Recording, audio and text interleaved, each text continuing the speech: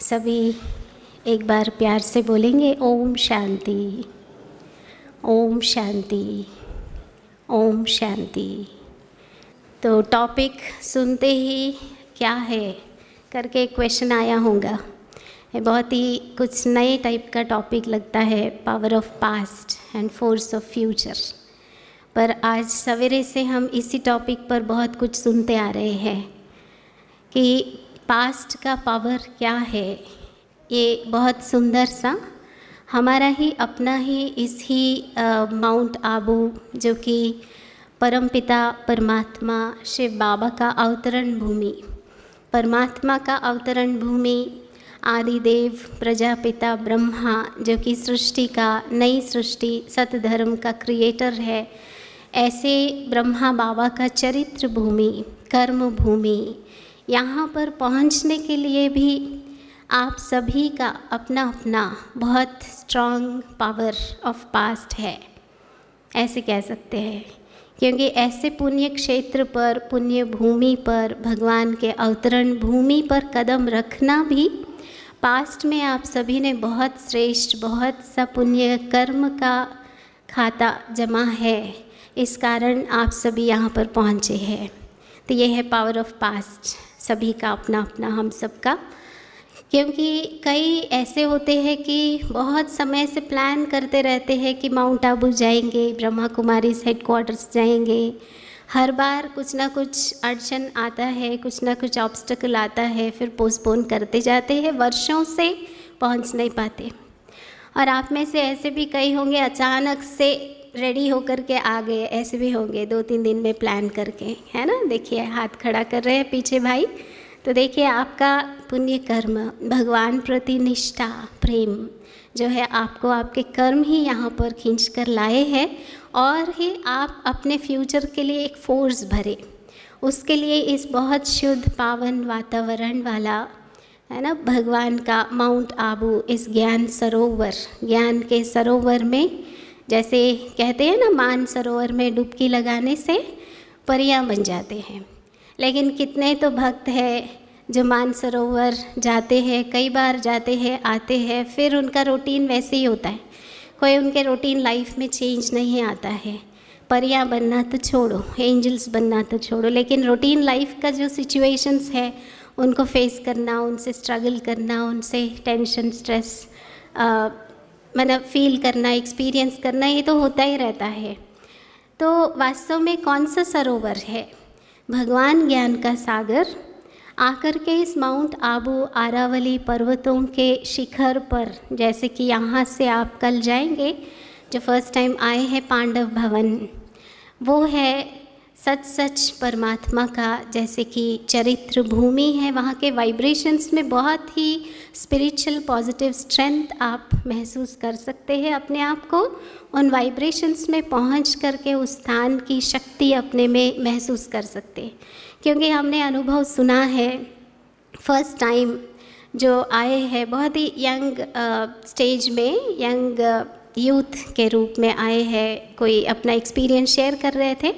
First time आए हैं और मधुबन में नीचे भी, यानी आबू रोड पर जो शांतिवन कॉम्प्लेक्स है ब्रह्मा कुमारी इसका, वहाँ पर आए हैं और उनका नेचर उतना पॉजिटिव का नहीं था, लेकिन आने के बाद हैदराबाद वापस आकर के एक्सपीरियंस ऐसे शेयर किए थे कई वर्ष पहले कि वहाँ जाते ही बिल्कुल नेगेटिविटी क्या है, वो नॉलेज ही भूल जाता है। इतना पॉजिटिविटी मन की स्थिति, मन के सोच में एक्सपीरियंस करते हैं, ऐसे करके, ऐसा किया उन्होंने।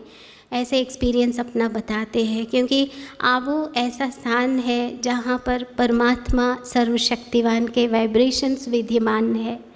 तो ऐसे स्थान पर आ करके अपने में फोर्स भर करके आगे फ्यूचर के लिए हम बहुत सक्सेसफुल बहुत ही रिस्पॉन्सिबल बहुत ही अकाउंटेबल होकर के अपना कार्य व्यवहार में जाए उसके लिए यहाँ से फोर्स अभी भर कर के जाएँगे। तो जैसे पास्ट का पावर आप हम सभी को यहाँ पर ले आया इस पुण्य क्षेत्र पर पुण्य भूमि पर और यहाँ का जो आ, एनर्जी है इसको ले कर के और आगे इसे बढ़ाना है। ऐसा नहीं कि यहाँ तो बहुत अच्छा लगा फिर वहाँ जाकर वहाँ के वायुमंडल में आकर के उसी प्रकार का फिर यहाँ का डाइल्यूट होता जाता है जनरली यहाँ का जो एक्सपीरियंसेस है वो रहता है, लेकिन वो इफ़ेक्ट जो है बाहरी संसार का बहुत ज़्यादा प्रभाव अपने मन की स्थिति पर पड़ने से और यहाँ का जो अभ्यास है, जानकारी प्राप्त किया हुआ, वो अभ्यास को अच्छी तरह अटेंशन नहीं देंगे तो ये अभ्यास, ये एक्सपीरियंस थोड़ा मर्ज हो जाता बाहर का इफ़ेक्ट ऊपर से आने से वो फोर्सफुली पॉजिटिव एक्शंस मनसा, वाचा, कर्मणा में जो अच्छा सा पुण्य कर्म या श्रेष्ठ कर्म हमसे होनी चाहिए, वो नहीं हो पाता है। इसलिए अटेंशन रख करके इसे और आगे बढ़ाने का सुदृढ़ संकल्प भी यहाँ से लेकर के जाएँगे तो हमारा फ्यूचर सिर्फ़ इस जीवन के लिए नहीं आगे अनेक जन्मों के लिए भी हम बहुत अच्छा हमारा लाइफ फ्यूचर फॉर्च्यून भविष्य, तकदीर, भाग्य हम बना सकते हैं। तो इसलिए भगवान ये कहते हैं परमपिता परमात्मा शिव ये कहते हैं कि आपके अनेक जन्मों का, भविष्य का, तकदीर लिखने का कलम मैं आपके हाथ में दे देता हूँ इस समय। तो ये ऐसा श्रेष्ठ समय है जहाँ पर भगवान स्वयं हमारे हाथों में हमारे तकदीर कैसे अच्छा तकदीर की रेखा जितना लंबा चाहो उतना खींच सको वो कलम दे दिया है। मिल गया आप सभी को? हर एक का अपना अपना तकदीर अनेक जन्मों का हम्म, बहुत अच्छा तकदीर की रेखा बहुत ऊँचा बनाने का है ना? कलम पेन भगवान ने दे दिया। वो कलम कौन सा है? श्रेष्ठ कर्म। सो so, श्रेष्ठ कर्म ही कलम है जो हमारा भाग्य हम अपने हाथों से लिख सकते हैं। सिर्फ़ इस जन्म का ही नहीं अनेक जन्म जन्मांतर का। जितने भी जन्म लेंगे उतने सभी जन्मों का। तो ऐसे फोर्स ऑफ़ फ्यूचर है ना? वर्तमान की स्टेज पर है। और पावर ऑफ़ पास्ट जो हमको यहाँ पर इस लेवल पर इस स्टेज पर अपने जीवन को ला करके बहुत सुख का खुशी का आनंद का अनुभव करने के लिए जैसे कि पास्ट के कर्म हमको बेसिस बन करके ये अच्छा सा लाइफ हमको दिया है। तो ये है आज का टॉपिक और आज के टॉपिक के ऊपर बहुत सुंदर अपने अपने विचार व्यक्त करने के लिए हमारे बीच में बहुत अच्छे से एक्सपीरियंस्ड ज्यूरिस्ट फ़ील्ड में ही आ, बहुत अच्छे एक्सपीरियंस पाए हुए अनुभवी अनुभवज्ञ हमारे बीच में बैठे हैं। तो मैं फ़र्स्ट आमंत्रित करती हूँ मंच पर हमारे divine brother honourable justice A Ramalingeshwar Rao garu जज high court of AP and Telangana Hyderabad मंच पर पधारेंगे। साथ में respected brother doctor B K Babulal Yadav ji former principal government law college Alwar. आप भी मंच पर आए, अपना स्थान ग्रहण करें। और respected brother P J Dholakia ji former law secretary state of Gujarat Ahmedabad मंच पर पधारेंगे, अपना स्थान ग्रहण करेंगे। Respected brother Jagmal Singh Chaudhary ji senior advocate high court of Rajasthan Jodhpur मंच पर अपना स्थान ग्रहण करें। Respected brother T Amarnath Goud ji senior advocate high court of AP and Telangana Hyderabad आपका भी सादर मंच पर आमंत्रण। Respected brother Padmakar Ramgonda Patil ji senior advocate Kolhapur, आप भी मंच पर पधारे। और हमारे दैवी बहन ब्रह्मा कुमारी सिस्टर रेणु चोपड़ा जी, राजयोगा टीचर दिल्ली से पधारे हुए। आप भी अपना स्थान मंच पर आकर के ग्रहण करें। तभी हम सब तीन मिनट इस सभा में और हम सबको सशक्त करने के लिए उस परम पिता परमात्मा का आह्वान करते हुए साइलेंस में बैठेंगे। ब्रह्मा कुमारी बहनों से निवेदन है मंच पर उपस्थित मेहमानों का तिलक और बैड से स्वागत करें।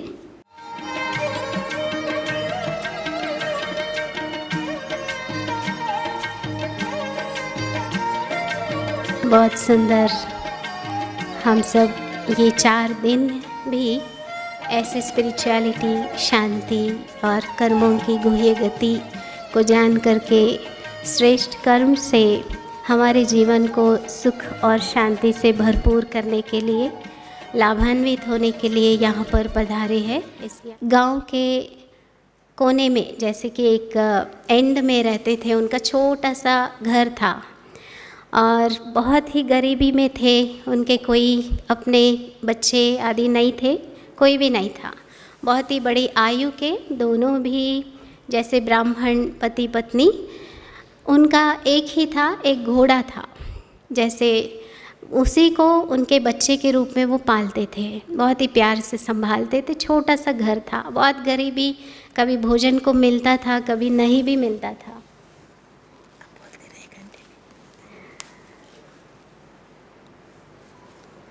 तो ऐसे में उनका लाइफ ऐसे ही बहुत दुखी, बहुत ही उदास, मायूसी से बीत रहा था। तो थोड़े दिन के बाद, एक दिन ऐसा हुआ, एक महात्मा जी शाम के समय उनके घर पर आए हैं और उन्होंने, उनसे कहा कि मुझे एक रात रहने के लिए स्थान चाहिए। एक ही छोटा सा कुटिया जैसा उनका कमरा था तो उन्होंने कहा, ठीक है, आप इस रात को अंदर, आप विश्राम कीजिए, हम दोनों भी बाहर, है ना, रात जैसे कि बिताएँगे। इस प्रकार कहा, फिर उसके बाद थोड़े समय में महात्मा जी कहते हैं, मुझे भोजन भूख लग रही है। तो उनके पास सूखा सा एक दो रोटी ही था और तो कुछ नहीं था। तो वो भूखे रह गए और महात्मा जी को कहा कि आप ये भोजन स्वीकार करिए। तो भोजन किया और रात में उन्होंने वहाँ पर उस झोपड़ी में विश्राम किया। रात पूरा हो गया। फिर उन्होंने वो सोचने लगे, महात्मा जी, इनका क्या है? इनका फ्यूचर क्या है? करके। सारा सोच करके उनका भविष्य के लिए उनका जो अंतर की जो स्पिरिचुअल पावर है उससे जान चुके कि इनके पास एक ही घोड़ा है और तो कुछ है नहीं। इनका भविष्य भाग्य क्या है? उनका अपना संतान भी नहीं है। सोच करके सवेरे हुआ फिर उन्होंने कहा ठीक है। दोनों पति पत्नी से कहा कि आ, अभी मैं यहाँ से जाना चाहता हूँ जाऊँगा। तो ब्राह्मण हूँ मैं घर पर आया हूँ। कुछ तो दक्षिणा देने बिगर कैसे भी जाओगे? तो फिर पति पत्नी ने कहा, ब्राह्मण वृद्ध ने, कि हमारे पास क्या है? रोटी था, वो तो दे दिया, हमारे पास तो और कुछ नहीं है। तो उन्होंने कहा, कुछ भी नहीं है क्या? तो बोलते, देखिए, एक छोटा सा घोड़ा है, जो हमारे बच्चे जैसा हम पालते हैं। तो जैसे उन्होंने कहा, महात्मा जी ने इस घोड़े को बेच करके भी मुझे दक्षिणा आपको ज़रूर देनी है।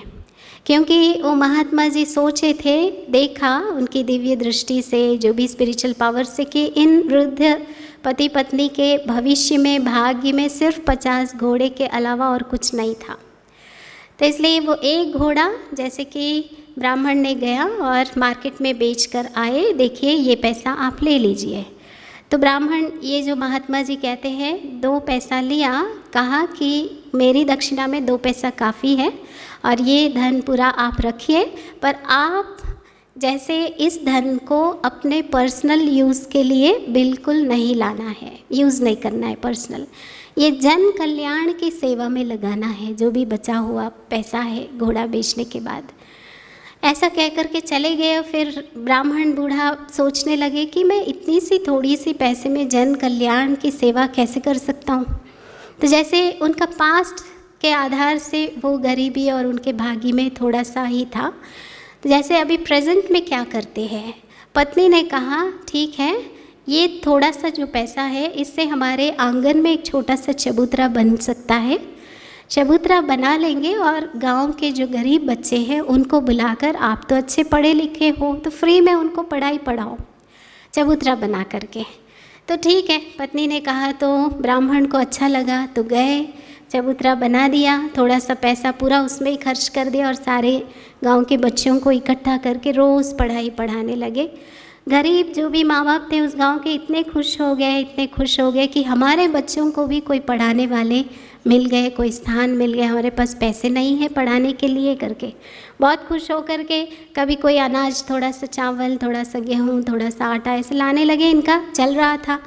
रोज़ ऐसे सेवा करने लगे। गाँव के सेठ को सेठ को पता पड़ गया कि अरे, बूढ़े ब्राह्मण जो है, इतनी अच्छी गरीब बच्चों की पढ़ाई करने की अच्छी फ्री में सेवा कर रहे हैं। तो उन्होंने सोचा, मैं भी इस अच्छे कार्य में कुछ कोऑपरेट करूँ। तो वो सेठ ने दस घोड़े भिजा दिए। तो वो दस घोड़े यहाँ आने के बाद ब्राह्मण ने उस दस घोड़ों को फिर से बेचा। बेच करके छोटा सा क्लासरूम्स थोड़ा बहुत बना लिया और अच्छी तरह थोड़ी बहुत फैसिलिटीज़ प्रोवाइड करके बच्चों को और अच्छी तरह से पढ़ाना, लिखाना स्टार्ट किया। और अच्छे से बच्चे आ रहे थे, पढ़ रहे थे अच्छा उनका फ़ेमस यानी नाम हो रहा था गाँव के अंदर। और इनकी आवश्यक चीज़ें जो है, सब माँ बाप जो सेठ लोग होते हैं, उन, वो ला करके दे रहे थे। ये आवाज़ पहुँचा गाँव के मंत्री जी के पास। तो मंत्री जी भी बहुत खुश हुए और एक बीस घोड़े उन्होंने भेज दिया इनके पास। फिर बीस घोड़े बेच करके उन्होंने और अच्छा सा बड़ा कॉम्प्लेक्स जैसे कि बना लिया। और ज़्यादा अच्छा सा बहुत बच्चे आने लगे, पढ़ने लगे, फिर राजा के पास पहुँच गया। उन्होंने और ज़्यादा कंप्लीट टोटल फिफ्टी घोड़े जैसे कि हो गया है। तो बहुत नाम भी हो गया, वो भी बेच करके फिर सेवा में लगा दिया उन्होंने, ब्राह्मण युगलों ने। तो इतना अच्छा मतलब उनके घर में जैसे कि कोई नहीं था दोनों ही बड़ी वृद्ध अवस्था में थे। तो ऐसी सेवा में लगाने से वर्तमान समय में देखिए उनको आ, नाम भी हो गया एक अच्छा सा रिस्पेक्ट भी समाज में मिल गया। कमी भोजन शेल्टर उसकी कुछ भी कमी नहीं रही खुशी भी हो गई। सारा मतलब फ़ेमस राजा तक ये बात गई तो उनको बहुत सम्मानित भी किया। तो ये है फोर्स ऑफ़ फ्यूचर भविष्य बनाने की कला अपने हाथ में है। तो ऐसे पास्ट में जो भी कुछ किया, वो तो हमारे हाथ में नहीं है।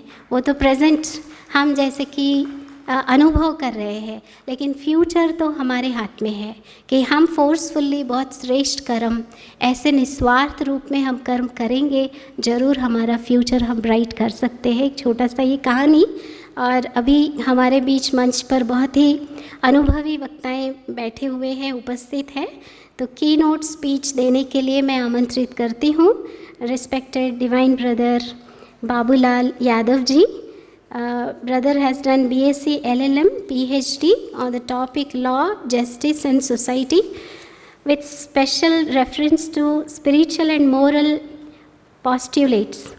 Brother is ex-principal, Government Law College, Alwar. Ex-Dean, Rajrishi Bhartari University, Alwar. Research Guide of Rajasthan University, Jaipur. Also submitted two minor research projects on eradication of crime through spirituality, reformation of criminals by Raj Yoga meditation. I request brother to present his keynote speech, Dr. Babulal Yadav ji. Om Shanti. आज के plenary session के हमारे chairperson honourable justice Ramalingeshwar Rao ji, हमारे dais के ऊपर विराजमान speakers brother P J Dholakia ji brother Jagmal Singh Chaudhary ji brother T Amarnath Goud ji, brother Padmakar R Patil ji, बहन B K Renu जी, और B K Rajni ji.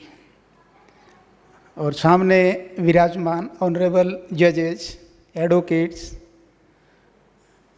officers, law officers, and jurist परमपिता परमात्मा ने हमको बताया कि ये पाँच हज़ार साल का इटरनल वर्ल्ड ड्रामा बड़ा वंडरफुल है। और अगर इस ड्रामा को हम सही तरीके से समझें तो ये ड्रामा कुछ नहीं, बल्कि एक पावर ऑफ़ गेम से गेम गेम है पावर का। शक्तियों का एक खेल है। इसके अंदर तीन एक्टर काम करते हैं नेचर पुरुष और प्रकृति। इनका ये खेल बना हुआ है ड्रामा बना हुआ है। और परम पिता, परमात्मा और आत्मा, ये चैतन्य एक्टर हैं। और प्रकृति एक जड़ एक्टर है। इन तीनों का ये खेल चलता है। इसके अंदर जो पावर गेम है उसके अंदर आत्मा जब पावर गेन करती है, अर्थात पावरफुल होती है तो यूनिवर्स के सभी फैक्टर उनको कोऑपरेट करते हैं, उनके ऑर्डर में चलते हैं, और रिज़ल्ट सुख, शांति और संपन्नता जीवन में आ जाती है।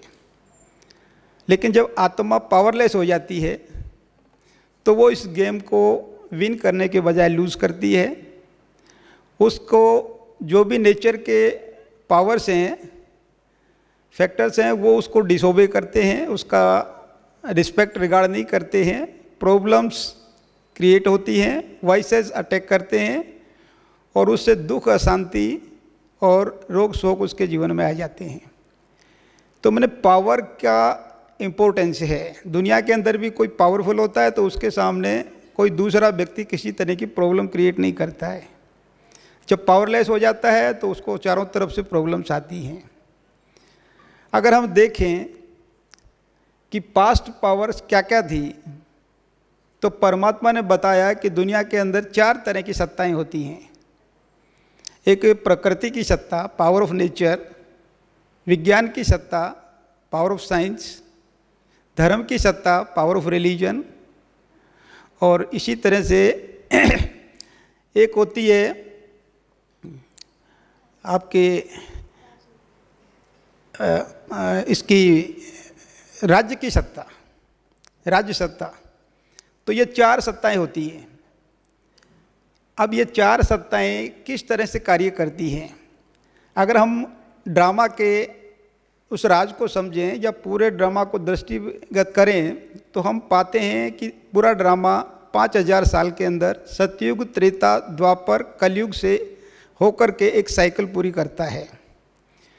सतयुग त्रेता के अंदर जब आत्माएँ पावरफुल होती हैं, तब उस समय ये प्रकृति के ये चारों सत्ताएँ उसको सहयोग करती हैं, उसके ऑर्डर में चलती हैं।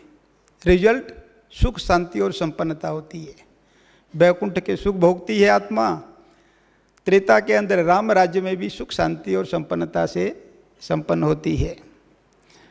लेकिन जब द्वापर के अंदर आत्मा की पावर बॉडी कॉन्शियसनेस में आने के कारण कम होती जाती है तो फिर ये पाँच, चार सत्ताएँ हैं, इनकी शक्तियाँ भी उसको कोऑपरेट करना बंद कर देती है। और उसके परिणाम स्वरूप विकार या नेगेटिव जो पावर्स हैं वाइसेस वो उस पर अटैक करते हैं और उसके कारण उसको विकर्म करवाते हैं। और उसका रिज़ल्ट दुख, अशांति, रोग, शोक प्रारंभ हो जाता है। अब सवाल यह है कि आत्मा ये पावर्स कैसे ले? अगर हम देखें तो देखते हैं कि सतयुग के अंदर प्रकृति दासी के रूप में काम करती है, जब आत्मा पावरफुल होती है। ऑर्डर के अंदर रहती है टाइम के ऊपर बरसात होती है, ना तेज़ गर्मी होती है, ना सर्दी होती है, सदाबहारी मौसम होता है। सोने के महल होते हैं हीरे जड़े हुए होते हैं, हर तरह से सुखदाई होती है प्रकृति। सुख चैन की बंसी बढ़ती है, घी दूध की नदियाँ बहती हैं मतलब हर तरह से जिसकी महिमा आपने सुबह भी सिलू बहन के लेक्चर में देखा कि सतयुग के साक्षात्कार हुए तो किस तरह का समय था जब आत्मा पावरफुल थी। लेकिन द्वापर से जब आत्मा पावरलेस होना शुरू होती है तो उसके ऊपर अटैक होता है और उसके अंदर उसके ये प्रकृति के जो सत्ताएँ हैं। ये उसका आदेश, आत्मा का आदेश मानना बंद कर देते हैं और जिसके परिणाम स्वरूप वो सारे प्रॉब्लम से ग्रस्त हो जाती है, दुख अशांति उसके जीवन में आ जाती है। इसी तरह से विज्ञान की सत्ता प्रारंभ में सतयुग के अंदर विज्ञान अपने चरम पे होता है, एक्सट्रीम पे होता है, बहुत रिफाइन होता है और वो सुख देने वाला होता है। पुष्पक विमान होते हैं साइंस और टेक्नोलॉजी से बहुत जल्दी ही महल तैयार होते हैं। पूरे ग्लोब के ऊपर पुष्पक विमानों से एक चक्कर इजीली लगाया जा सकता है।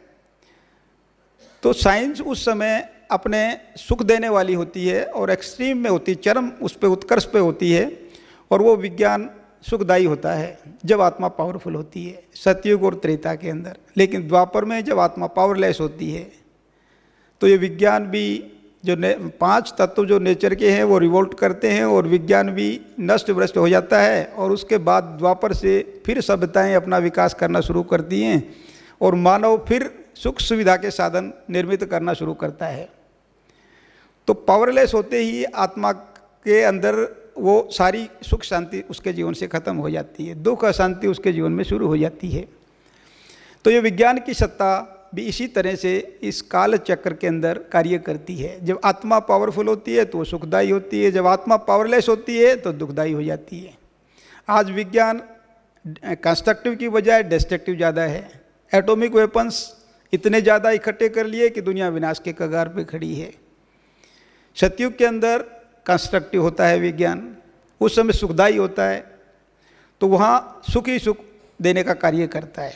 साइंस और टेक्नोलॉजी सब कंस्ट्रक्टिव कार्य करते हैं। तो ये भी एक नेचर इसकी साइंस की पावर है, जो किस तरह से काल चक्र पास्ट के अंदर काम करती है और अब प्रेजेंट में उसकी स्थिति क्या हो जाती है। इसी तरह से राज्य, धर्म की सत्ता है। जब आदि सनातन देवी देवता धर्म सत्युग और त्रेता के अंदर एक धर्म होता है सुखदायी होता है, वैल्यूज़ होती हैं, पावर होती है आत्मा के अंदर तो उस धर्म की शक्ति के कारण आत्मा सुख शांति भोगती है। लेकिन द्वापर से वो आदि सनातन देवी देवता धर्म के के जो फॉलोवर्स हैं, देवी देवता हैं वो वाम मार्ग में जाते हैं, पतित होते हैं बॉडी कॉन्शियसनेस के कारण और उनके जीवन में विकार आते हैं वो पावरलेस होते चले जाते हैं। परिणाम स्वरूप वो पूज्य थे, पुजारी बनते हैं, भक्ति करते हैं, भगवान को याद करते हैं, पर फिर भी उनके जीवन में दुख अशांति बढ़ती चली जाती है। तो ये धर्म की शक्ति या धर्म की सत्ता किस तरह से हमको पास्ट के अंदर वो प्लेजर देती है और जब वो धर्म की सत्ता प्राय लोप होती जाती है तो दुख अशांति हमारे जीवन में आती जाती है। राज्य सत्ता जो बहुत ही इम्पोर्टेंट सत्ता होती है सत्युग त्रेता के अंदर कहते हैं कि जब दुनिया के अंदर हमेशा पॉजिटिव के साथ साथ नेगेटिव फोर्सेस भी होते हैं। लेकिन परमात्मा ने हमें बताया कि सतयुग और त्रेता के अंदर कोई नेगेटिव फोर्सेस नहीं होते हैं। लक्ष्मी नारायण का राज्य निष्कंटक होता है। वहाँ कोई, जैसे कहते हैं कि जहाँ पर एक अच्छा अच्छाई होती है तो उसके साथ बुराई भी होती है, लेकिन लक्ष्मी नारायण के राज्य में कोई भी अपोजिट फोर्सेस नहीं बताई गई है। तो उनका सुख शांति का राज्य अखंड है। करीब ढाई हज़ार साल तक सतयुग त्रेता के अंदर कोई नेगेटिव फोर्सेस नहीं होती हैं। जहाँ तक राज्य सत्ता का सवाल है, राज्य का अस्तित्व तो पहले क्योंकि राज्यतंत्र होता है द्वापर तक, और उसके बाद में कलयुग के अंत में प्रजातंत्र आता है। ये वृष्ट फॉर्म है शासन का। तो राज्य के पास जब संप्रभुता शक्ति होती है, जैसे सतयुग के अंदर नारायण के पास संप्रभुता की शक्ति होती है तो वो शक्तिशाली सोल्स होती हैं। उनके राज्य के अंदर किसी तरह का कोई भी बुराई प्रवेश नहीं कर सकती है। इसलिए वहाँ पर किसी तरह का कोई समस्या नहीं है। कोई दुख नहीं है, अशांति नहीं है। लेकिन आज हम देख रहे हैं कि राज्य सत्ता, जिसको हम संप्रभु कहते हैं, वो संप्रभु होते हुए भी आज उसके सामने दुनिया भर की समस्याएँ हैं और उनका निदान करने के लिए राज्य ने अपनी संप्रभु शक्ति का उपयोग करते हुए कितना ही कानून बनाया है। लेकिन इतना कानून होते हुए भी एक भी प्रॉब्लम सोल्व नहीं हुई है राज्य के द्वारा। सब प्रॉब्लम्स बढ़ती जा रही हैं समय के साथ साथ तो कई बार तो ये भी प्रश्न उठता है कि क्या राज्य संप्रभु है या नहीं है? क्योंकि संप्रभुता की डेफिनेशन जो कानून के प्रेजेंट टाइम में दी गई है, विधि शास्त्रियों के द्वारा जूरिस्ट के द्वारा, विशेष करके जो राज्य सत्ता के पक्ष में विधि शास्त्री है, जॉन आस्टीन, उसने कमांड थ्योरी दी है और उसमें सोवरन की बताया है कि law is the command of the sovereign संप्रभु का आदेश है और संप्रभु को डिफाइन किया है क्वालिटीज़ बताई हैं वो तीन क्वालिटी उसमें होती हैं कि वो पावर मैंने असेंशियलिटी पहला तो वो असेंशियल है, बिना संप्रभु के कोई कानून ही नहीं होता। दूसरा अनडिविजिबिलिटी कानून उसको पावर को संप्रभु की शक्ति को विभाजित नहीं किया जा सकता। और तीसरा, वो कहते हैं अनलिमिटेबिलिटी उसकी पावर अनलिमिटेड है। अर्थात वो जो चाहे जो कर सकता है।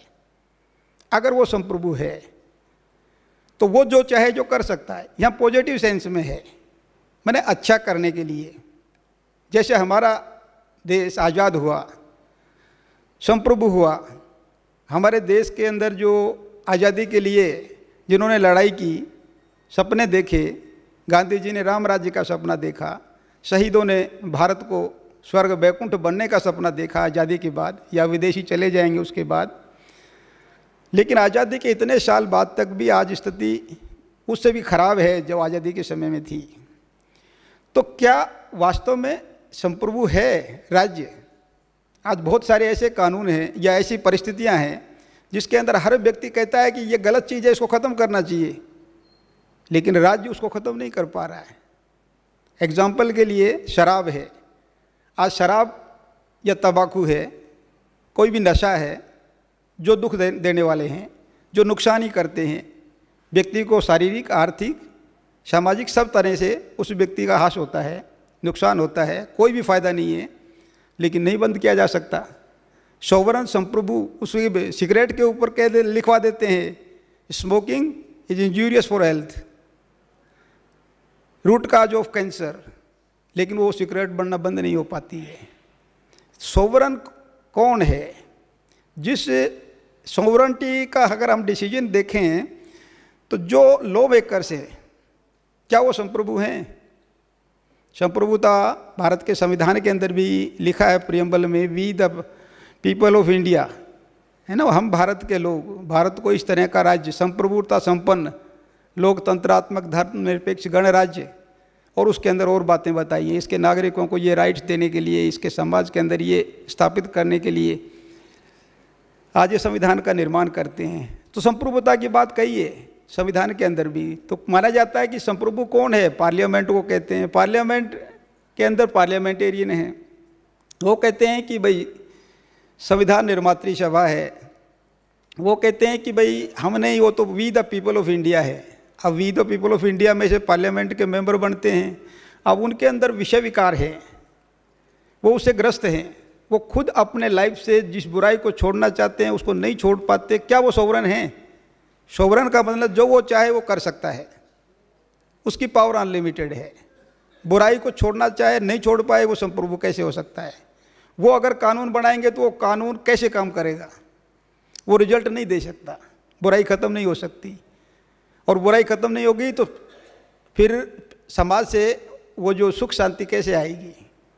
दुख अशांति का जो कारण है, वो जो एग्जिस्टेंस में है तो सुख शांति कैसे हो सकती है?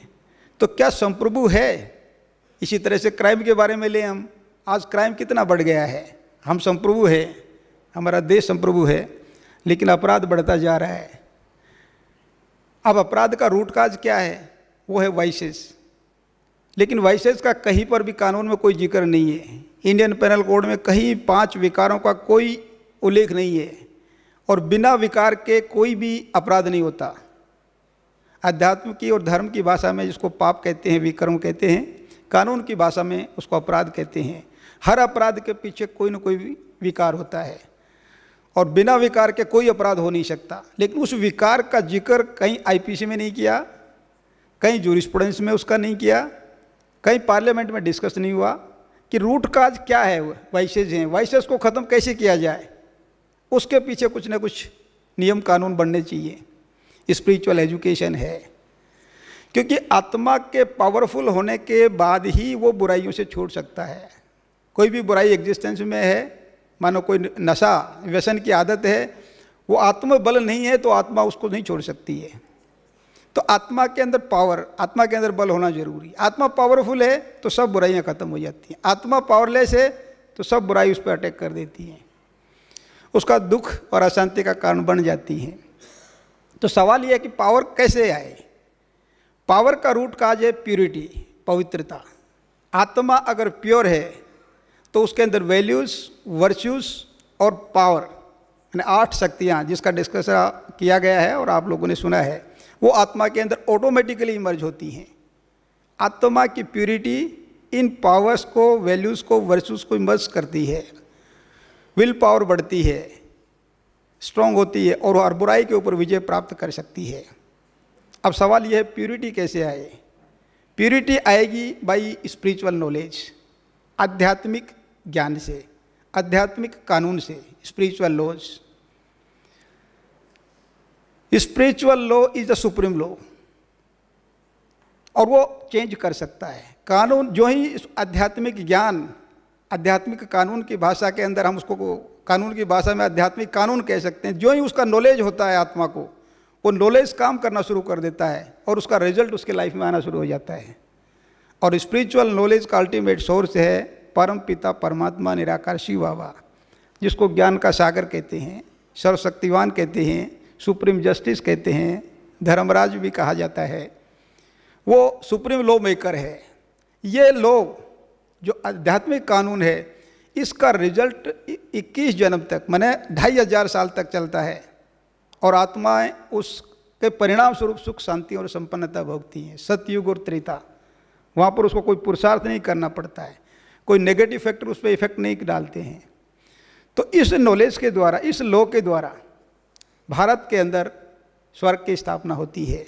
सुख, शांति के राज्य की स्थापना होती है, जो हमारी इस क्या कॉन्फ्रेंस का मेन थीम है आध्यात्मिकता द्वारा सुख शांति। तो वो सुख शांति स्पिरिचुअलिटी के द्वारा होती है, जो निराकार शिव परम पिता परमात्मा हमको दे सकता है। अगर उस स्पिरिचुअलिटी को हम, हमारे इस लो के अंदर अप्लाई करें तो ये लो भी उसी तरह से काम करना स्पिरिचुअलाइज हो जाता है लो स्पिरिचुअल पावर इसके अंदर आ जाती है। और उस एंगल से वो काम करना शुरू कर देता है। मैं आपको जूरिस्प्रूडेंशियल कुछ टॉपिक शॉर्ट में बताता हूँ, जैसे पर्सनैलिटी है जूरिस्प्रूडेंस में हम डिस्कस करते हैं लीगल पर्सन फ़िज़िकल पर्सन पर स्पिरिचुअल पर्सन की बात नहीं है, जबकि वास्तव में कर्म स्पिरिचुअल पर्सन कर रहा है पनिशमेंट स्पिरिचुअल पर्सन भोग रहा है, सारा प्रोसेस स्पिरिचुअल पर्सन के पीछे चल रहा है, आत्मा के पीछे, करने वाली तो आत्मा है, पर हम शरीर को पेनलाइज करते हैं। वास्तव में शरीर को पेनलाइज करने से हम उस चीज़ को क्राइम को ख़त्म नहीं कर सकते। तो आत्मा ही करने वाली है, आत्मा भोगने वाली है, आत्मा ही असली पर्सन है, जिसके जिसके द्वारा ये कार्य किया जाता है। पर वो कहीं पर भी कानून का, उस, कानून के अंदर उसका रोल नहीं है, कोई ज़िक्र नहीं है, उसके बारे में कोई एप्लीकेशन नहीं है। तो कानून को जब तक स्पिरिचुअलाइज नहीं करेंगे, हैं, पीछे लेक्चर में आप लोगों ने सुना था, कुछ थ्योरी थी रिफॉर्मेटिव थ्योरी किसी को पनिश किया जाता है जेल भेजा जाता है, उसमें सुधार नहीं होता। लेकिन अगर जेल के अंदर उसको आध्यात्मिक ज्ञान सुनाया जाता है तो उसके अंदर परिवर्तन हो जाता है। हम भी अलवर के अंदर एक जेल के, हमारी जो सेंट्रल जेल है, उसके अंदर हमने क्लासेस शुरू की हुई हैं। तो उसमें करीब तीस लोग ऐसे हैं जो टोटल चेंज हो गया उनके लाइफ के अंदर। और वो जेल के अंदर हैं, पर वो अपने अंदर से परिवर्तन कर लिया। उनके अंदर जो व्यसन, विकार, जो भी बुराइयाँ थी, सब छोड़ दिए। तो चेंज हो जाता है। आध्यात्मिक कानून के द्वारा। तो आध्यात्मिक कानून ज़रूरी है, जो परम पिता परमात्मा से मिलती है, और सारी पावर वो सुप्रीम पावर है। जब उस सुप्रीम पावर से कनेक्शन जुड़ता है तो आत्मा पावरफुल होती है। पावरफुल आत्मा को सभी फैक्टर्स यूनिवर्स के उसको हेल्प करते हैं, उसके ऑर्डर्स को ओबे करते हैं, और उसके जीवन में सुख शांति होती। ओम शांति। बहुत धन्यवाद। आत्मा की शक्तिशाली होने से बहुत ही सुख शांति था, शक्तिहीन होने से ऐसे दुखी अशांत हो गए। फिर से हमको सशक्त करने का यही समय है, ऐसा बहुत सुंदर संदेश आदरणीय डॉक्टर बाबूलाल यादव जी हमारे बीच रखें। अभी मैं आमंत्रित करती हूँ respected brother P J Dholakia ji, former law secretary, state of Gujarat, Ahmedabad. आपका हमने बहुत सुंदर संदेश सुना इनाग्रल सेशन में भी। अभी इस टॉपिक पर भी आप कुछ विचार हमारे सम्मुख रखें honourable guest and dignitaries sitting on the dais district judges of different states, other judicial officers, law officers, professors, ladies and gentlemen. At 6.30 in the morning, I was hearing Z News. There was a report, Modi in Washington to discuss terrorism with Trump tomorrow, tension in Pakistan. Why tension to Pakistan? Modi is a spiritual leader from spiritual personality when he attained the age of 17 years. He left his home, Varnagar, and went to Himalaya. Met his guru, who died before one week, and prayed to him that he may be taken as his chela. Guru replied that you have to serve the country and the world for years together. So, and as an election commissioner, I had a fortune of meeting with him one to one for number of times, and he is basically a spiritual personality. And therefore, his visit to Washington and discussion on, on terrorism with Trump has caused a terrible tension in Pakistan. So, this is the impact of spirituality. Rasmi Ben, Dr. Rasmi Ben yesterday referred to some judges. One of them was D.A. Desai. I had a personal experience. When I was in Dakor as a judge, and I was only 30 years, he was a, he was a follower of Ranchor Raji. And when he used to come and pray before DT, and he was reciting Vishnu Sahasranam, and actually tears were coming from his eyes while reciting that, that uh, Sahasranam. One day he came on a private visit. On Sundays and on full moon day, there is a one way. All, uh, there is no direct entry to temple. But we requested DSP and the policemen, police officers to see that Judge D.A. Desai may be allowed to come to temple directly. But the policemen, you know, they are a Vakri person. Policeman on duty stopped him. He did not utter a word. He got up from, get up from his vehicle, came to temple, offered prayers. We went to circuit house and I apologized him. He said, why should you apologize? The, I, have, I have enforced the law. I have to obey the law. And he told me a very one, very one sentence which I will never forget. He says, he said to me that forget that don't feel that High Court is your boss.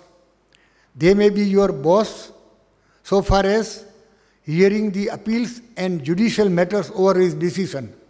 But on administrative side, on administrative side, they are, they are uh, your head, but you have to decide the matters judicially and keeping the voice of conscience before at the time of writing judgment. So conscience is your boss and not the High Court or the Supreme Court. That word I remembered till my retirement as a law secretary and as an election commissioner with the result that I faced no difficulties throughout in my career of about 35 years. Another thing that I remember in our central jail, Ahmedabad, Gandhiji, Sardar Patel, and Lokmanya Tilak, they were, they, they were imprisoned as an under trial. Three barracks are kept in the same position. But in Tilak barrack, on every Thursday Ravishankar Shri Shri Ravishankar का जो uh, डिस्कोर्सिस होता है, वो अहमदाबाद के कोई spiritual गुरु करता है। और सरदार पटेल में मुरारी बापू और सब करते हैं। One I P S officer who remand as U T P for seven years he is a spiritual man he wrote three books on spirituality and he used to teach the spirituality to the prisoners with imprisonment for life, seven years, ten years. So many prisoners came out, and one Prajapati I know, he came out after undergoing the imprisonment for life. He was preparing namkeen in the jail, and after coming out from jail, he started his namkeen shop in front of Central Jail, Ahmedabad, and it is running very fine. When we used to pass to Circuit House, Ahmedabad for some other work, we always uh, stop our vehicle and have some namkeen from, and he says that वो जो साहब थे उसने हमको बहुत spirituality सिखाई और हमारा बहुत परिवर्तन हुआ ऐसे आप तिहाड़ जेल में किरण बेदी थी he, she has written one book. In maybe she has tried very hard to improve the uh, working condition of the jail from the angle of spirituality also. So two, three uh, things have, has, have helped me like anything in my life. I am again uh, thankful to the institution for having a hat trick in, uh, in uh, attending this function because on the first day, yesterday and today, I am so lucky that I was uh, given a chance to sit on the dais and express my views for three, five minutes, seven minutes. Again, I thank you. Om Santi. Thank you, brother PJ Dholkia ji. Very nice personal experiences you have shared with us to enlighten upon the topic. Now I request our divine brother Jagmal Singh Chaudhary ji. Brother is senior advocate and member Bar Council of Rajasthan. I request uh, the speakers to conclude uh, in the given time which has been given in your agenda schedules because we have another session, very important session. Thank you. Om Shanti. परमपिता, परमेश्वर, शिव बाबा को सदर, बाबा को सदर नमन।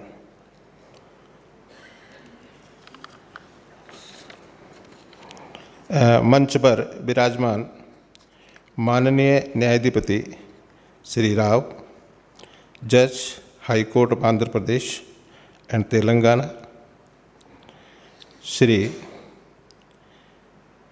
Babulal ji Rao Babulal ji Yadav keynote speaker and ex principal government law college Alwar Shri Dholakia ji former law secretary state of Gujarat Ahmedabad Shri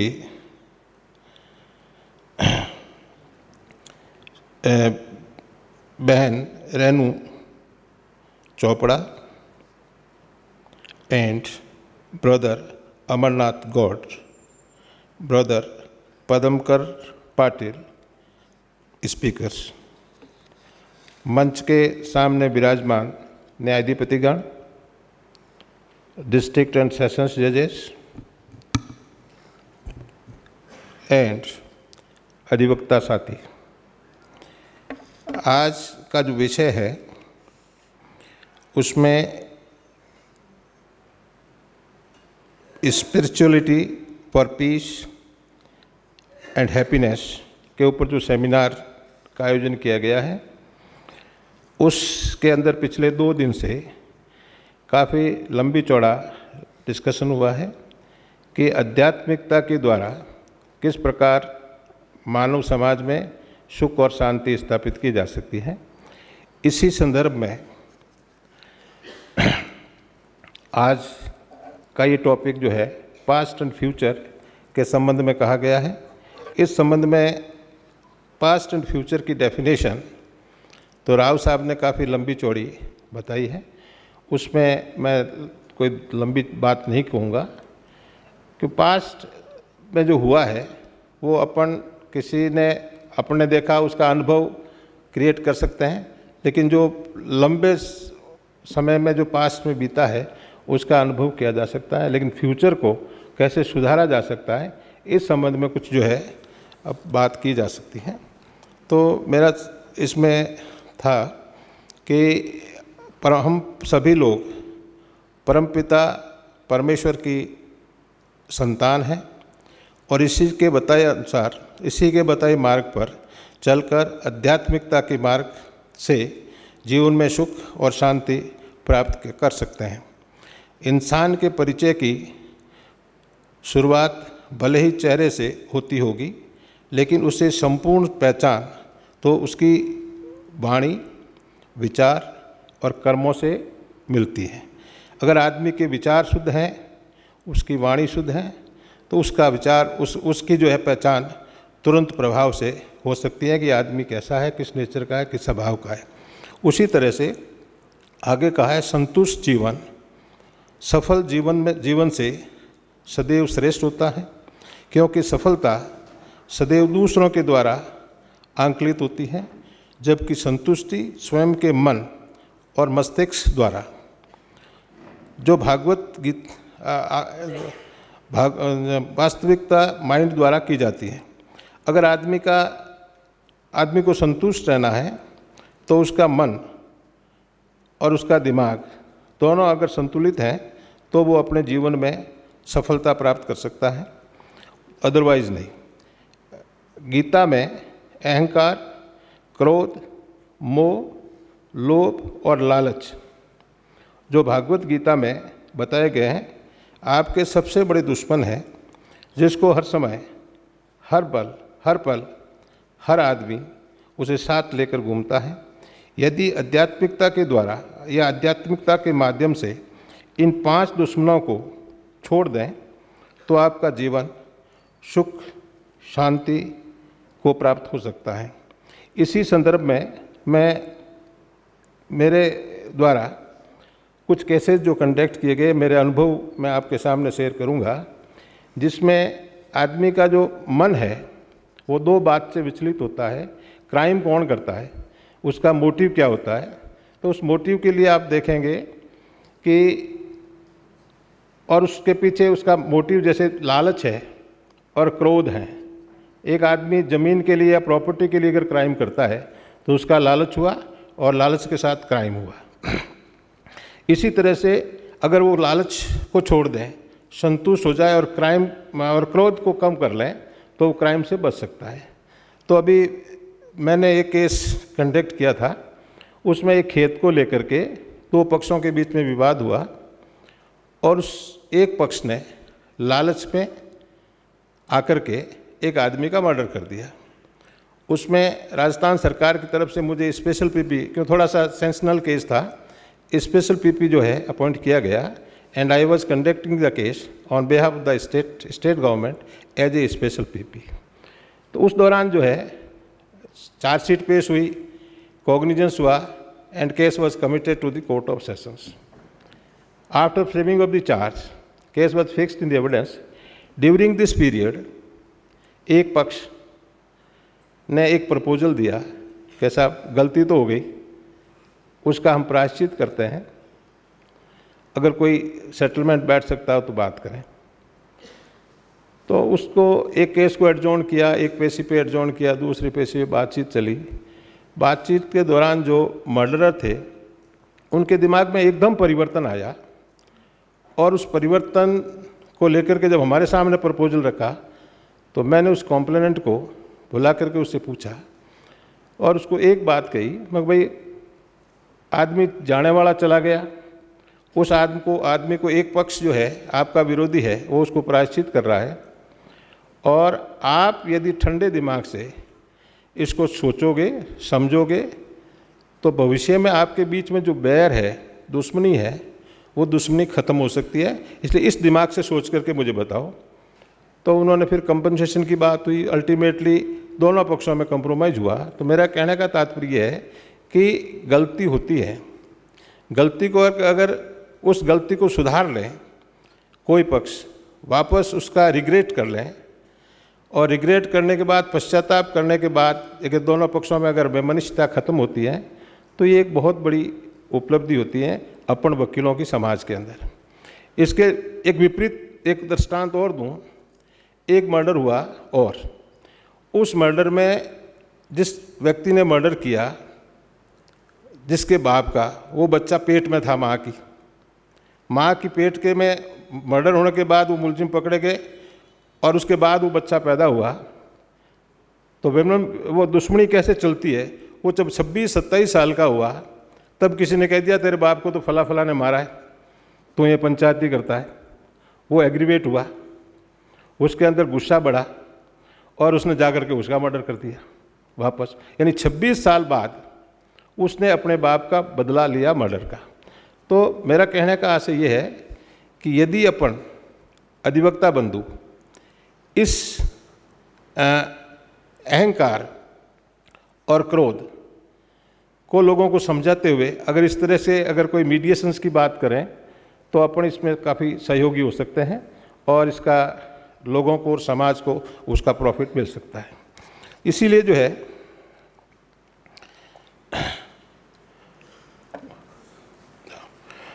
मनुष्य की सबसे मुख्य मूल्यवान वस्तु है मन, जिससे वह नरक को स्वर्ग बना सकता है और स्वर्ग को नरक में बदल सकता है। ये ये दो उदाहरण इसी बात के द्योतक हैं।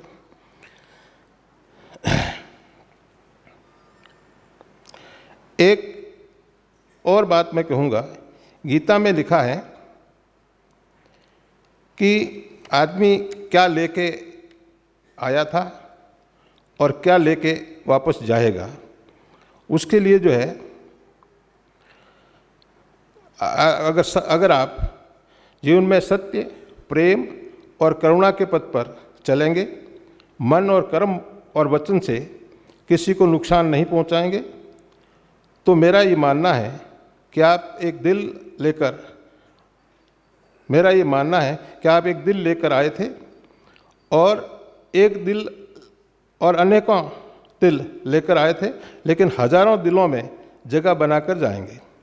इसी तरह से कहा है एक छोटी सी एक दो लाइन की कविता है। उसमें कहा है, अहंकार का भाव ना रखूँ, नहीं किसी पर क्रोध करूँ। देख दूसरों की बढ़ती को कभी ना कभी कभी ना दुर्भाव रखूँ। रहे भावना ऐसी मेरी, सत्य सरल व्यवहार करूँ। बने जहाँ तक इस जीवन में औरों का उपकार करूँ। धन्यवाद।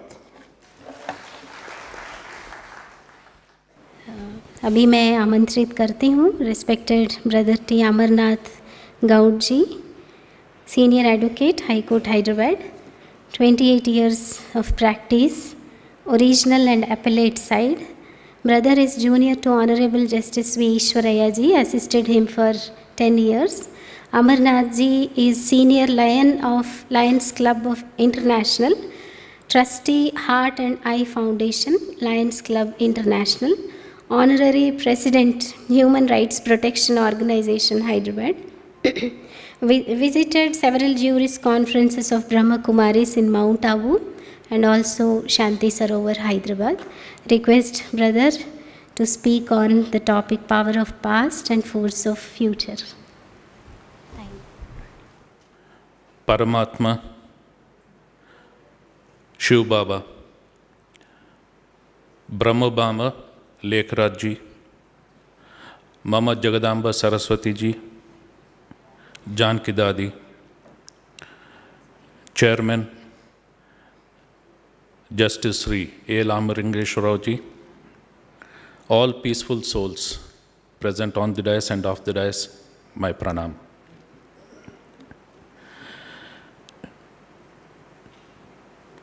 we all know power of past force of future. In our day to day life, we've been coming across and on and off we are using these words power, past, future, and also force. So, between past and future, there is a bridge that is present. If we enter into the shoes of past, the day becomes present and tomorrow is our future. So, in the process of leading our life, past, present, and future, it always becomes necessary as to how we have to conduct ourselves. In my life, as a lion, I served for 18 years and have been serving still. Service to mankind. Manav Seva is Madhav Seva. In the process of serving, a level of an uh, elevation that is towards spirituality.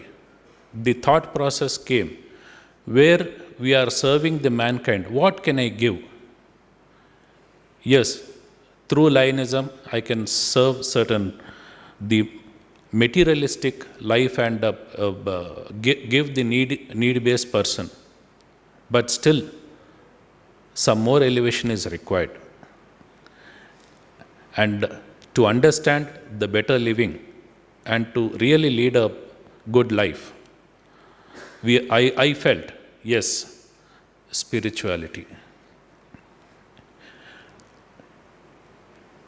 We know in, in while leading our day-to-day life, we come across so many good things and bad things. And in the process of coming across a wrongful act, a person knows, yes, this is wrong, I should not do. But how many of us are able to judge and decide for the moment and say, no, I will not do this because it is wrong. Most of us, the citizen, without ha having a proper knowledge in spirituality and without understanding and without coming out of kama, krodha, lobha, moha, mada, matsarya, irsha, dvesha, it always becomes difficult to lead a peaceful life. So, thanks to Brahma Kumaris for giving me this opportunity because this is the first speech I'm addressing in spirituality and that too with the head office of at Mount Abu of Brahma Kumaris. Every person feels that I should come up like a lotus from a pond. कीचड़ से कमल जैसा मैं आना चाहूँगा but what is the past when you want to become or you want to make your future always counts. It is a cycle past, present, future. So, yesterday past, what are the good and bad things I have done? What is the present day, the good things I am doing, and what is tomorrow? The result is again the future.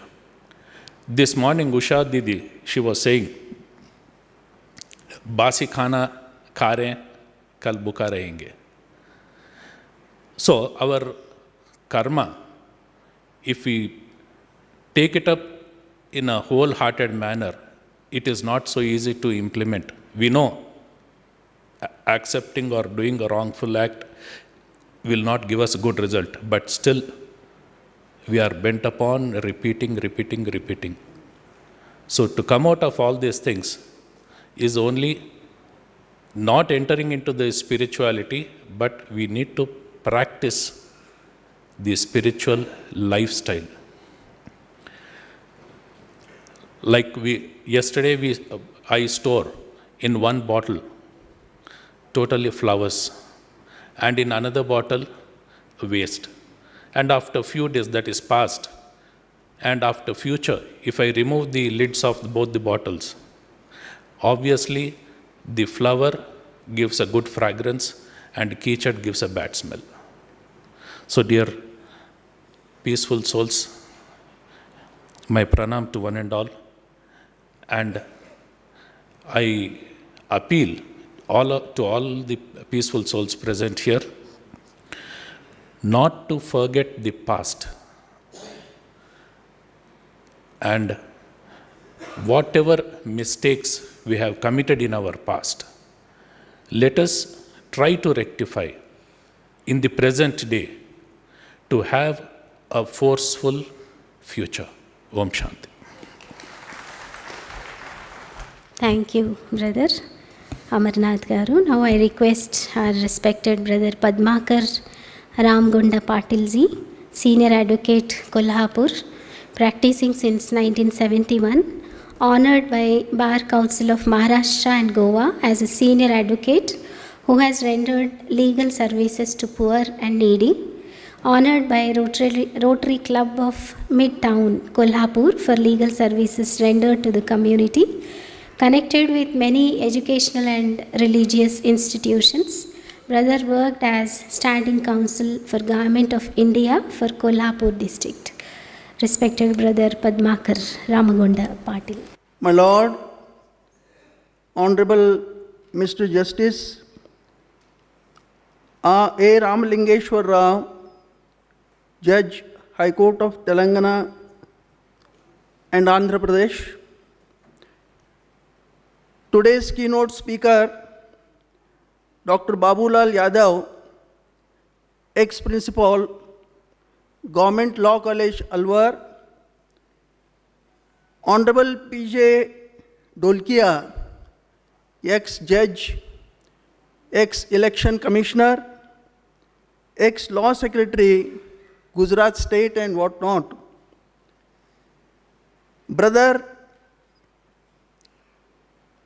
Jagmal Singh Chaudhary, Senior Advocate, High Court of Rajasthan, Bench at Jodhpur, Brother T. Ramnath Gaud, Senior Advocate, High Court of Andhra Pradesh and Telangana,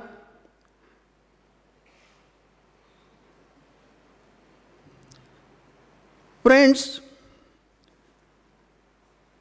for the last two days, we are with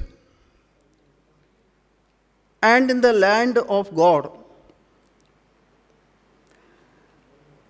As per our Indian tradition, dispensation of justice is the function of the God. We have already received warnings regarding time and I will be very short to the points. All honorable judges, advocates, law officers, jurists who are assembled today, they're all connected with the function of dispensation of justice. Therefore, a thought came to me that what is our role at present as the advocates, jurists, and judges? And a thought touched me that actually we are doing, we are performing the task of the God. And when the God has given this task to us, then we cannot distance ourselves from spirituality because the God and the spirituality they go hand in hand. We are in that sense when we are performing our duty of dispensation of justice, we are performing our functions as the delegates of God. The problem, however, is because of our forgetfulness, maybe, regarding our this role I think this conference is a very, very happy innovation and positive step taken by jurist wing to create an awakening in the advocates, juries, judges, and all the persons who are engaged in dispensation of justice. For the last about two days, we have been hearing about the judiciary also. And in so far as judiciary is concerned, there is a concern that all is not well. That is also true. But friends, there are three things in India which are appreciated, praised all over the world. And they are the armed forces of our union, second, the Election Commission of India, and third, last but not the least, the Indian judiciary. We cannot forget, even for a moment, that our judiciary has done tremendously good and lasting work in protecting, preserving, and augmenting the constitutional values enshrined in our constitution. And this work has been meticulously follow, followed by the judiciary after independence. The credit must go to our judiciary for preserving unpolluted the spirit of our constitution and converting the constitution into a workable document. That is very important because many of the nations, many of the countries which became free either with us or before or after we know in what position they are. This work which has been done by our judiciary is not an easy task. In doing so, many of our high courts and the Supreme Court judges have shown exceptional courage. These things we will have to remember. However, all is not well, there is no silver lining alone. With our judiciary, many learned speakers in the last two days have voiced great concern for the same.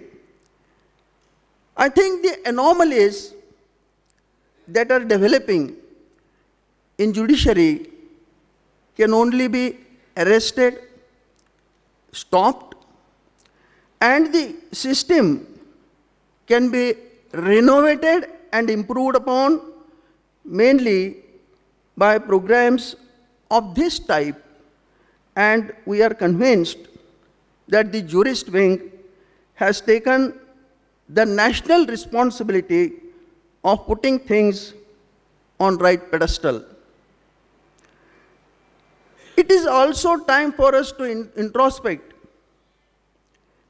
before and after independence, because we are concerned with the present, past, and the future, present has its roots in the past, it has its branches in the future. So we will have to see our past also when we think of the present, past, and the future. It is time for us to introspect before and after independence, the lawyers have played a very responsible role in this nation. They were instrumental in building our nation. This is our past. How disciplined they were, how dedicated they were. And this past we cannot divorce. And looking to this past, we have to look to the future and we have to, we have to introspect about our present. The present has its roots, as I said in the past. And these are our roots. And in so far as our judiciary is concerned, the future of our judiciary is dependent upon the future dedication, disciplined working of the young advocates in this country. Because ultimately, the stuff that is advocates, judges, and everything will be coming out of the advocates, fraternity of advocates. And therefore, the future of judiciary in India is dependent on the future of the young advocates in our country. And we will have to see with concern the way in which the trend in young advocates is developing, and we must see that it must be done. We must therefore rise to the occasion. That is what is being done in this conference. I have no doubt in my mind that in view of the dedicated involvement of Brahma Kumari jurist wing in this task, there is bright future for our judiciary in future. Thank you. Om Shanti. Future हमारा बहुत ही सुंदर बनाए और past के जो भी बातें हैं उसको डाइल्यूट कर दे नेगेटिव बातें उसके लिए बेसिस है बाबा जो बताए हैं परमपिता परमात्मा शिव मेडिटेशन सो हमारे बीच हमारे आदरणीय रेनू बहन जी है सीनियर राजयोग टीचर दिल्ली पांडव भवन करोल बाग से। वे अभी हमको मेडिटेशन अनुभूति कराएँगे राजयोग मेडिटेशन रेनू दीदी। स्टेज पर विराजमान honourable mister justice A Rama Lingeshwar Rao ji, हमारे माननीय ऑनरेबल अतिथिगण, न्याय जगत की माननीय हस्तियों, सभा में पधारे प्रिय भाई और बहनों, इन तीन दिनों में हमने ये जाना कि सुख और शांति जिसकी हम तलाश जगह जगह करते हैं, वास्तव में मैं आत्मा, जिसका मुझे परिचय मिला, उस आत्मा का स्वधर्म ही शांति है। आत्मा के ही तीन नेचुरल शक्तियाँ हैं, मन है, बुद्धि है। मन विचार करता है, बुद्धि छवि बनाती है, इसी का नाम मेडिटेशन है। कुछ समय के लिए हम सकारात्मक विचार देंगे और सब मिलकर उस एक ही विचार में उसकी छवि के द्वारा हम मेडिटेशन का, आध्यात्म के द्वारा शांति का हैप्पीनेस का अनुभव करेंगे। सब थोड़ा अलर्ट होके बैठेंगे।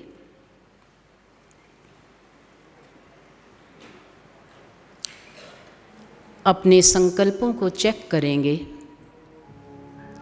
रोकने की आवश्यकता नहीं है।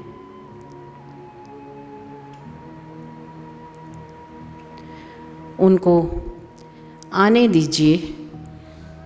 साथ ही उनको जाने के लिए कहें, अभी उनका समय नहीं है। संकल्पों की गति को धीमा करें।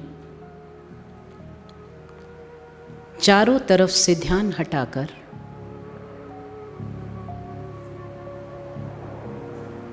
अपने विचारों को दोनों आँखों के मध्य भ्रिकुटी में स्थित करेंगे। स्वयं को देखें, अपने मस्तक पर एक चमकते हुए सितारे को देखें।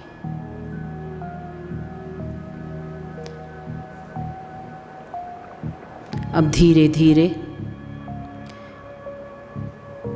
ये सितारा चैतन्य आत्मा शांति जिसका स्वधर्म है। शांति धाम की रहने वाली है। हम सब मिलकर स्टेज पर विराजमान हमारे माननीय अतिथिगण, सभा में उपस्थित हम सब आत्माएँ, यहाँ से अपने भ्रिकुटी के सिंहासन से डिटैच होकर इस हॉल से निकलते हैं, अपने संकल्पों से। ज्ञान सरोवर के प्रांगण में पहुँचते हैं। यहाँ एक बहुत सुंदर विमान हमको अपने शांति धाम में ले चलने के लिए आया है। चिंता मत करें। बहुत सूक्ष्म है हम। उस रथ पर सवार हूँ। वो रथ उड़ता है। आकाश में उसको देखें।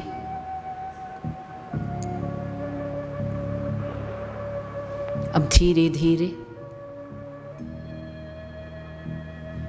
आकाश तत्व से पार, चाँद सितारों से भी पार। पार ब्रह्मलोक। मुझ आत्मा का घर। वहाँ पहुँचे। स्वयं को उस प्रकाश के घर में देखें। चारों तरफ़ प्रकाश है। कोई आवाज़ नहीं, कोई संकल्प नहीं। शांति की लहरियों को महसूस करें। मुझ आत्मा का स्वधर्म शांत है। I am an embodiment of peace peace is my right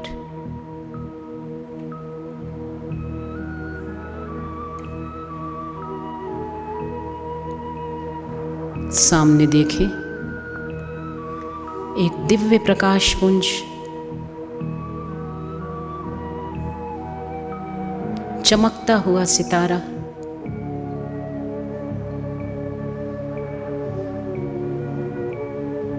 शांति की किरणें फैला रहे हैं।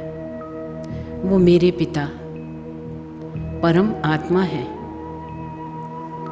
वो तो सदा से ही he is a constant source of energy he is a constant source of peace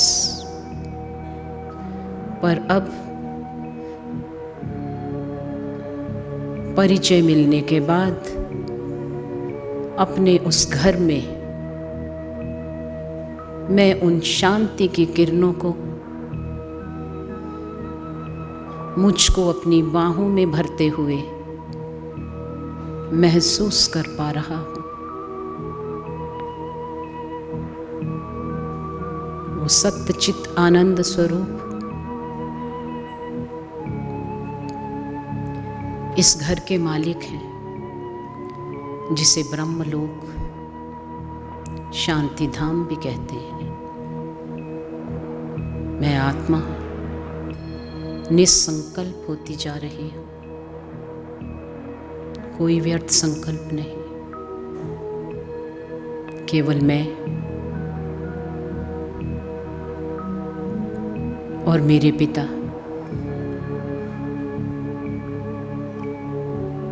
डूब जाए उन शांति की लहरियों में।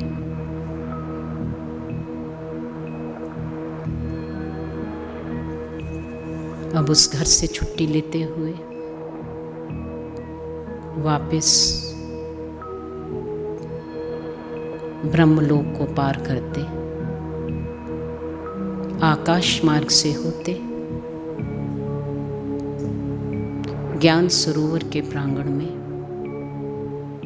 इस हॉल में, अपने भ्रिकुटी के तख्त पर वापस विराजमान हो जाएँ।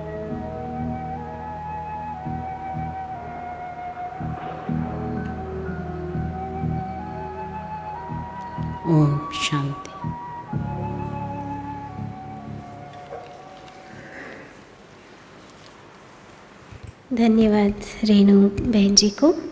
अभी आज के इस प्लीनरी सेशन के chairperson honourable justice brother A Ramalingeshwar Rao ji जज high court of Telangana and Andhra Pradesh Hyderabad आप बहुत ही आध्यात्मिकता पर रुचि रखते हैं। भिन्न संस्थाओं को भी विज़िट करके, वहाँ के भी विषय, यानी उनके नॉलेज को भी जानने की प्रयास किया। ऐसे आप आज सवेरे बता रहे थे, शांति सरोवर, हैदराबाद जो academy for a better world वहाँ पर भी है हैदराबाद में, कई कार्यक्रमों में भी आपका प्रेजेंस था और बहुत अच्छे अनुभवी वक्ता हैं। आपसे निवेदन है कि आज का इस प्लीनरी सेशन का टॉपिक पर अपना विचार व्यक्त करें।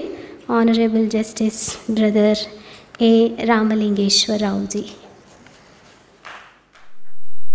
The two sisters on the dais, that side and this side, and the speakers in between, brothers and sisters who have assembled here. Good evening to all of you. As a part of this conference, today we have the session Power of the Past and Force of the Future. Along with me, you heard three advocates arguing the case. One retired law secretary also presented his case, and former principal of a government law college delivered keynote address. Now it is my duty to deliver my verdict before delivering my verdict, some time was given by way of meditative session. My doubt is do we have control over the past and can we predict our future?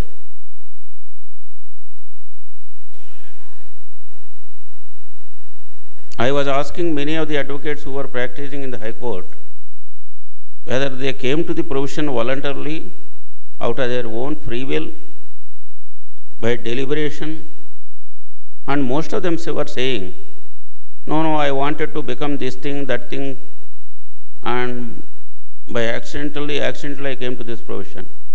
That was the case with many people i think I have little knowledge in astrology. The astrological combination says that the combination of Saturn and Jupiter will bring you to the legal provision. Saturn is a strict disciplinarian and he deals with the past. Jupiter gives you life, the sustenance, knowledge. These two forces act you when you choose the profession of law. By combination of other things, some people become judges, some people become law officers. That's a different thing. What I am saying is, were we having control over the past? You all believe in rebirth. How did we come to this universe? Why were we born in a particular family? What are we doing? What did we want to do?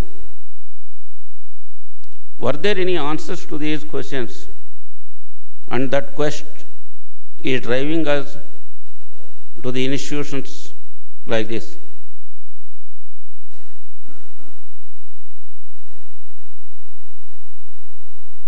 That quest continues, but fortunately, our sisters and brothers, they found some answers and they are happy with the answers, and that is why I find smiles in their faces. Very good. But Can anyone predict the future? As human beings, do we know what is going to happen in next five minutes? In couple of years. But our society is going to survive. Our universe is going to outlive us. In between, what we have is the present.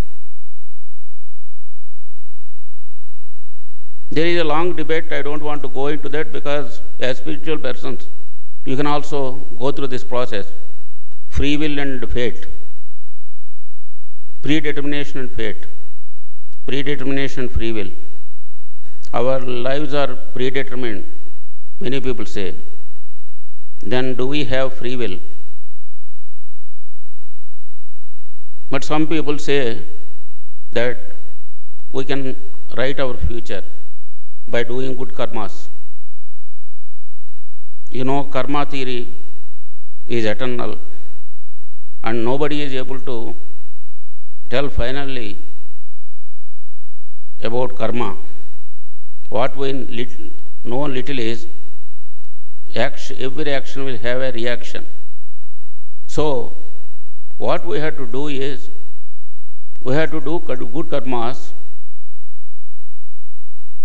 and those karmas will bring good future bus.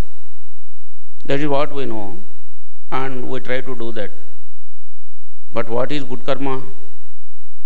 Morning you are giving, uh, hearing the lecture of Gita, Swadharma. Those days of Kshatriyas, that Gita was told to Arjuna. What is Swadharma for a liar? What is Swadharma for a judge? What is Swadharma for a businessman? If everyone follows his Swadharma, will there be any conflict in the society?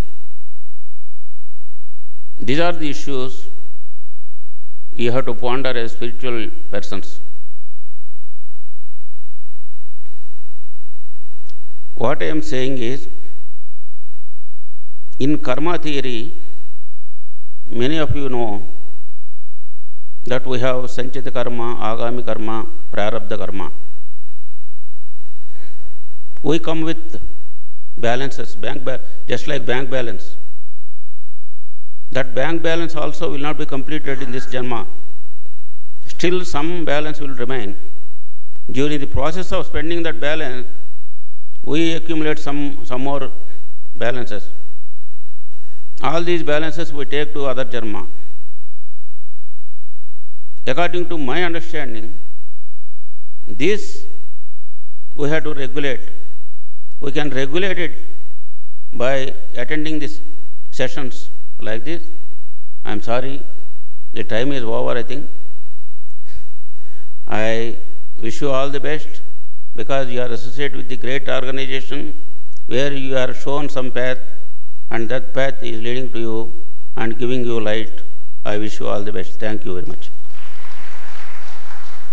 Thank you honourable justice V A Ramalingeshwararao garu now we all sit in silence for three minutes to conclude this session next session ऐसे ही continue होगा